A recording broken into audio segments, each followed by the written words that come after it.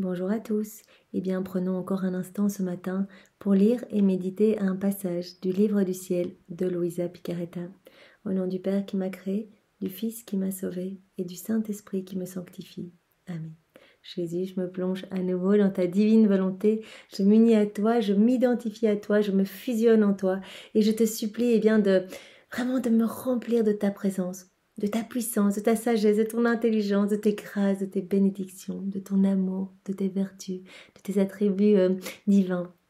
Je veux vraiment que tu viennes t'établir dans mon cœur, Seigneur, que tu me remplisses de, ton Esprit Saint et que vraiment euh, ma vie puisse être une prolongation de ta vie. Je voudrais vraiment que tu puisses euh, trouver dans mon âme eh bien, du repos, que mon âme puisse devenir pour toi un tabernacle d'amour, de consolation et que tu puisses agir à partir de toute mon humanité que je t'offre ce matin. Je t'offre ma volonté ma vie pour te servir, Seigneur, et que vraiment chaque seconde de mon existence puisse te glorifier. Je veux t'offrir tout cela au nom de tous, que chacun euh, de mes mouvements, conscients ou inconscients, et inconscients, eh bien, puisse euh, t'être offert comme des milliards d'actes d'amour, vraiment, au nom de tous, dans ta divine volonté. Merci Seigneur pour tout ce que tu nous donnes. Merci avec tes propres remerciements. Et viens, euh, et viens maintenant dans ce moment précis, eh bien, euh, méditer ce nouveau passage que tu nous donnes vraiment pour, euh, pour nous édifier, pour nous faire grandir en sainteté. Nous savons que tous ces passages eh bien, sont euh, comme des parties de toi. Tu as béni tous les mots, alors que rien ne se perde et que tous ces mots eh bien puissent fructifier, que nous puissions les mettre en pratique et que vraiment notre vie puisse, t'apporter de la joie, que nous puissions devenir des, des, sources de réjouissance pour toi, Seigneur. Vraiment, et que, ta lumière à travers euh, nos vies puisse euh, vraiment euh, toucher des âmes et, et te ramener beaucoup de tes enfants à toi, Seigneur. Parle à travers ma bouche, envoie-moi ton Esprit Saint, que je reste toujours dans ta vérité, Seigneur. Alors le passage que nous allons lire est celui du 4 mai 1919. C'est Louisa qui parle. Je me sentais noyée dans les privations et l'amertume. Seule la volonté de mon Jésus, qui est ma force et ma vie, me permettait de survivre. Pour un bref moment, mon doux Jésus se montra en moi.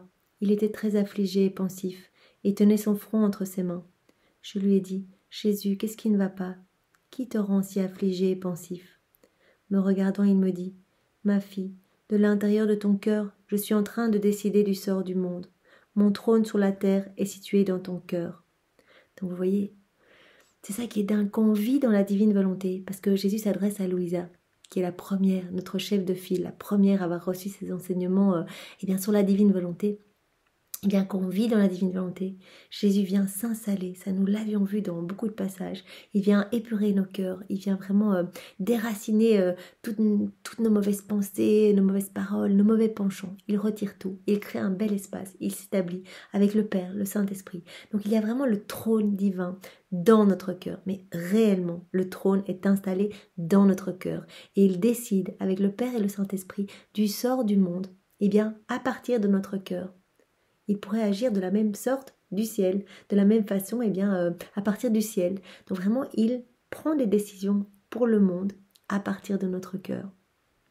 De ce trône, je vois le monde, la folie des créatures, le précipice qu'elle se creuse. Je me sens mis de côté, comme si je n'étais rien pour elle. Eh bien, Jésus souffre énormément de toutes nos froideurs, nos indifférences, de tous nos actes dissociés de la divine volonté. Nous vivons comme si euh, eh bien, nous étions euh, les rois de la création, les rois du monde, et que vraiment, euh, voilà, tout nous était dû, tout nous appartient. Euh, on essaye de se débrouiller avec avec notre volonté propre, et nous ne nous rendons pas compte que à chaque acte fait, eh bien, dans notre volonté propre, nous rajoutons la noirceur dans notre cœur.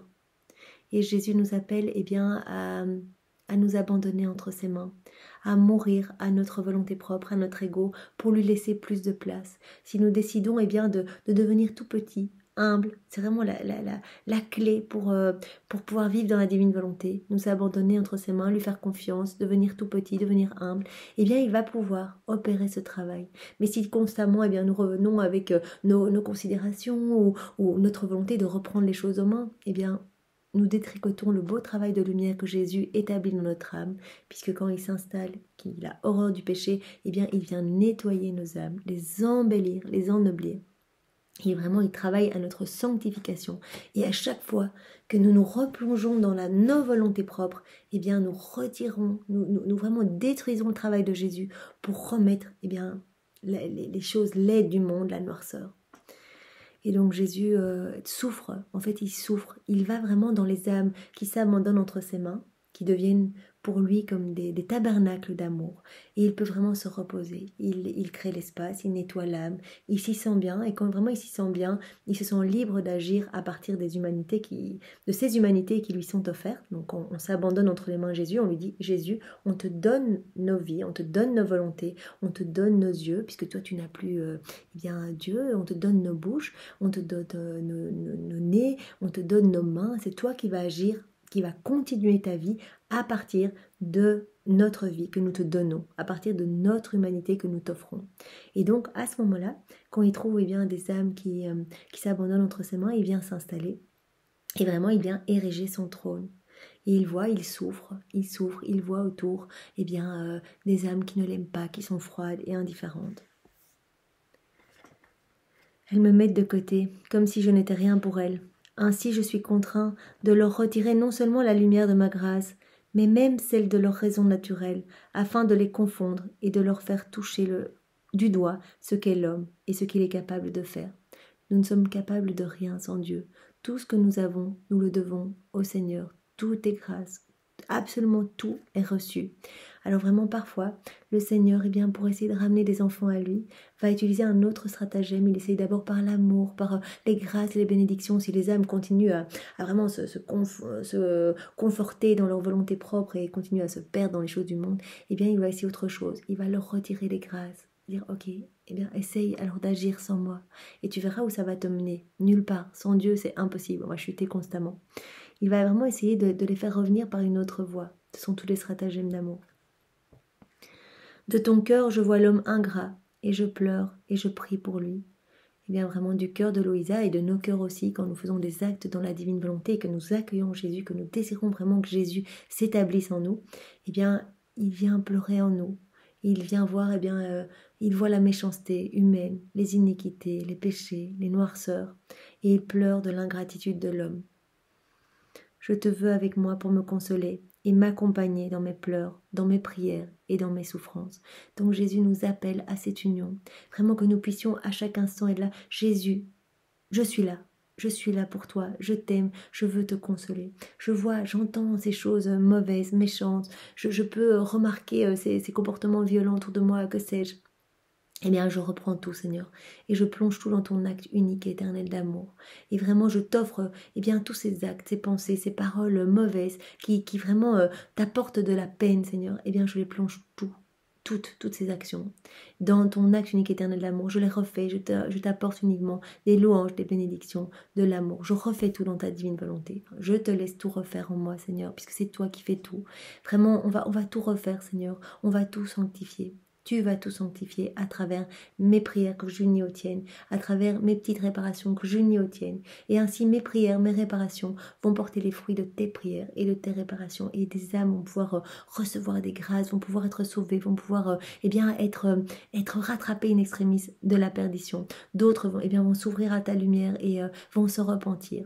Donc vraiment Seigneur, donne-nous cette grâce de pouvoir travailler avec toi, de pouvoir nous unir constamment à toi pour pouvoir eh bien, te laisser agir à travers nos humanités, que ce soit toi qui ramènes tes enfants à toi à travers nous, à travers nos prières, à travers euh, eh bien, euh, nos actes d'amour et de réparation.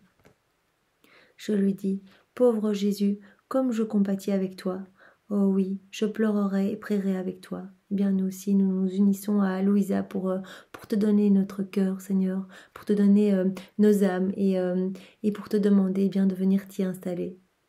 Donne-nous cette grâce de pouvoir euh, vivre continuellement unis à toi, de pouvoir t'appeler à chaque moment de la journée, cette grâce de la souvenance.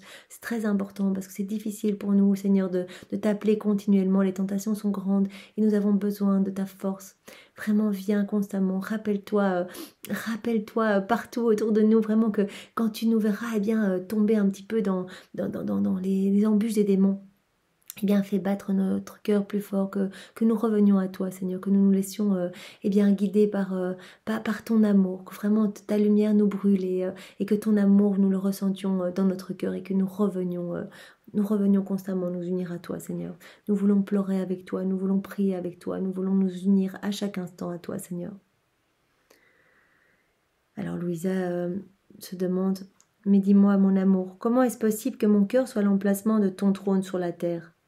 Vraiment ce, trône, euh, voilà, ce trône magnifique de la Trinité, du Père, du Fils et du Saint-Esprit, eh bien, il est dans notre cœur, eh bien, quand, nous désirons vivre dans la divine volonté. Et Louisa se demande, mais comment ça se fait que, ce trône, euh, ce trône de la Trinité soit dans mon cœur? Alors qu'il y a tant de bonnes âmes en qui tu habites, et que moi je suis si mauvaise. Voilà, Louisa se sent constamment eh bien, euh, en dessous des autres, et elle se demande mais comment, pourquoi, pourquoi tu as choisi mon cœur pour installer ton trône?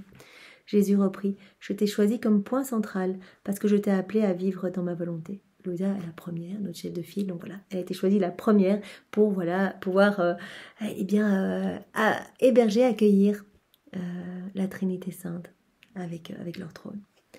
Quiconque vit dans ma volonté est capable de me contenir complètement parce qu'il vit au centre de mon être et que je vis au centre du sien. Il dit voilà, je le fais pour toi, mais tu es la première.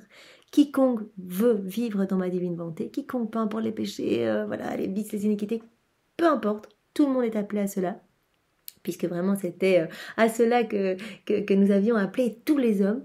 Alors vraiment, quand, quand quelqu'un revient et euh, vit dans la divine volonté, eh bien, il reprend sa place de, de chef-d'œuvre de la création, de dépositaire de tout mon royaume. Nous venons vraiment nous établir dans son cœur et vraiment nous venons avec notre trône. Vraiment parce que cette personne qui veut vivre dans, dans, dans, ma volonté, Jésus dit à Louisa, eh bien, en fait, elle, euh, elle s'immerge complètement en moi, elle se remplit de moi, et elle contient euh, toute ma vie, parce que je ne viens pas euh, seulement avec le Père, le Saint-Esprit et, notre trône, je viens avec tous mes attributs divins, tout ce que je suis, toutes mes actions, tout, tout, toutes mes pensées, avec, avec mon sang, mes plaies, voilà, mes mérites, tout. Donc cette âme me contient complètement parce que voilà, elle s'immerge en moi et euh, elle vit au centre de mon être. Et moi, je vais vivre au centre de son être, dans son cœur. Je vis dans son être comme si c'était le mien. C'est magnifique. Nous devenons alors vraiment des tabernacles de lumière pour le Christ. Il vit en nous comme dans sa propre humanité lorsqu'il est, euh, venu sur la terre. Il, prend nos humanités, nos yeux, euh, notre bouche, notre nez, nos mains, comme si ça lui appartenait. Vraiment, il continue dans nos corps ce qu'il est venu faire sur la terre. Cela permet vraiment euh, qu'il puisse prolonger sa vie en nous. C'est vraiment incroyable. Il considère nos humanités comme son humanité. Par contre, celui qui ne vit pas dans ma volonté ne peut pas tout embraser de moi. Au mieux, je réside en lui sans y ériger mon trône. Voilà, des âmes qui aiment énormément le Seigneur mais qui ne vivent pas dans la divine volonté, elles ne peuvent pas contenir euh, eh bien l'intégralité euh, de Jésus. Voilà, euh, au mieux, dit Jésus dit eh bien je viens vivre dans leur cœur mais je viens pas avec mon trône, je viens pas avec avec tous mes attributs divins. Ah, si tous comprenaient le grand bien qu'est vivre dans ma volonté, ils rivaliseraient pour y parvenir. Mais hélas, si peu le comprennent, ils vivent plus en eux-mêmes qu'en moi. Eh c'est vrai que nous vivons souvent plus euh, eh bien, de nos petites préoccupations, nos petits jugements, voilà, nos petits train-train quotidiens. Et nous ne nous préoccupons pas d'accueillir Jésus, vraiment que notre âme puisse devenir un, refuge, un, lieu d'amour pour notre Seigneur, qu'il puisse eh bien s'y sentir bien et, vraiment trouver du réconfort et, de l'amour au nom de tous les hommes, de tous les temps. Donc vraiment souhaitons cela ardemment et demandons-en les grâces à notre Seigneur. Seigneur, nous voulons que, que tu déverses dans nos vies eh bien, les grâces euh, de la sainte obéissance, vraiment de, de la sainte crainte, de, de l'humilité, de la foi, de la charité, de la pureté, de plus d'amour, Seigneur. Vraiment, aide-nous à, à devenir eh bien, de, de, des, petites lumières ici-bas, vraiment que nous puissions, euh, par nos vies, eh bien, te ramener euh, beaucoup de tes enfants. Sois loué, béni et glorifié, Seigneur, au nom de tous, en ta divine volonté, avec ton amour, tes adorations, tes louanges, tes bénédictions. Sois remercié, Jésus, au nom de tous, avec tes propres remerciements. Au nom du Père et du Fils et du Saint-Esprit. Amen. Soyez tous bénis et passez une belle journée. Au revoir.